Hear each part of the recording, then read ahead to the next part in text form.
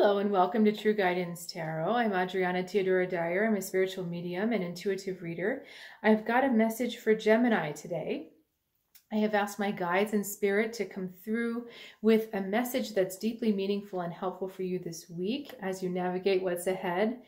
And um, message comes through the cards.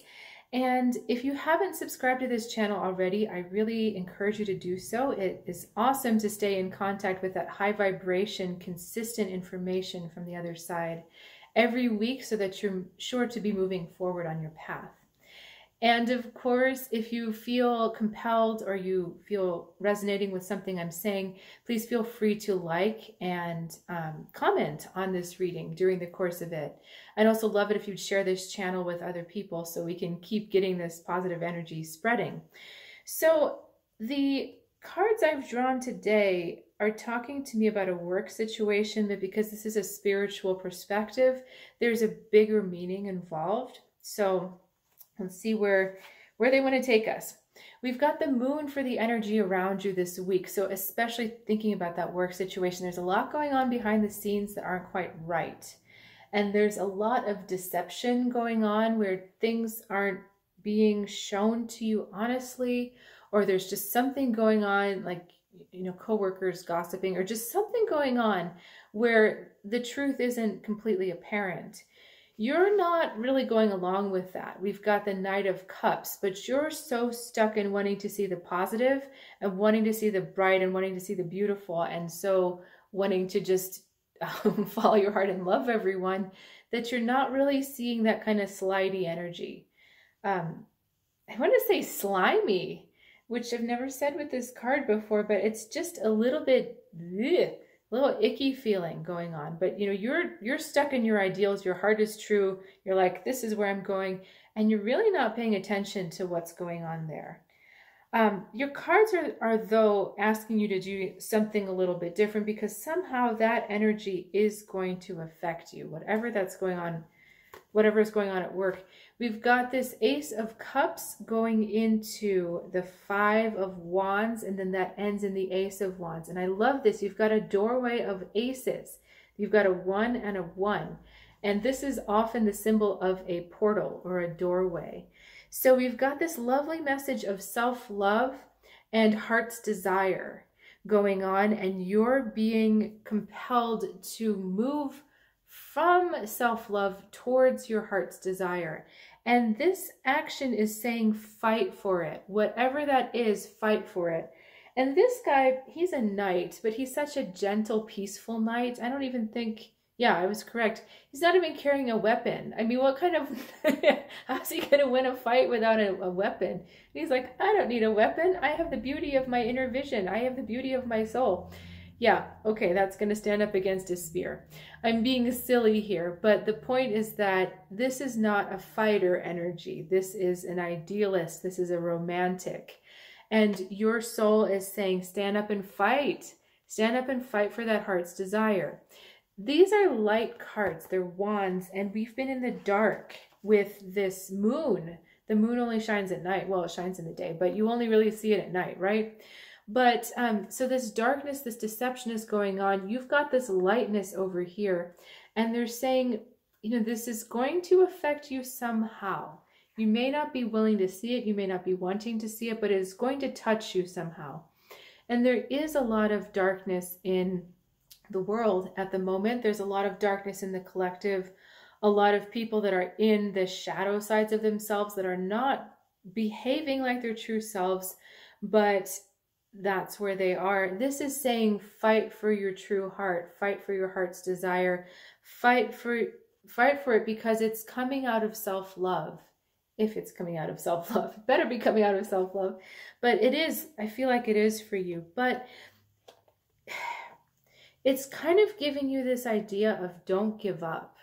Don't give up in your quest for that which your heart desires. Don't give up in your quest.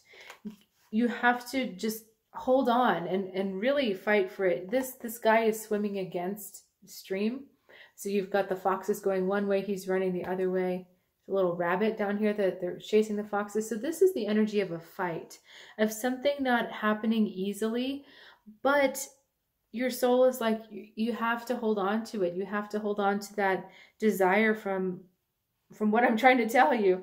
Um, that's your soul speaking, not me. So let me see if I can get anything else out of this because I feel like we've we've been on that path for a while. See if they can give us any more information.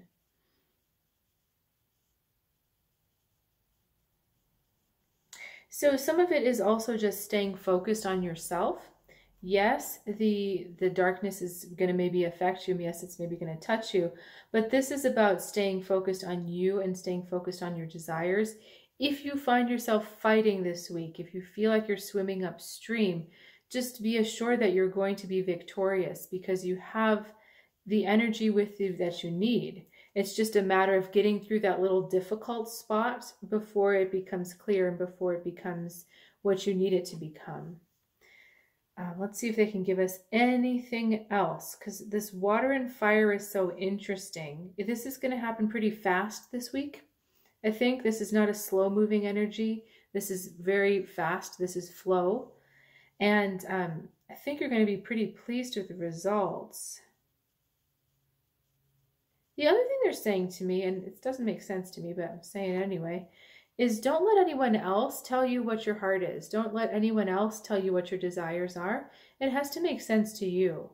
So don't allow yourself to be swayed. I think that's another meaning of this moon card here. Don't allow yourself to be swayed by something that's not true to you.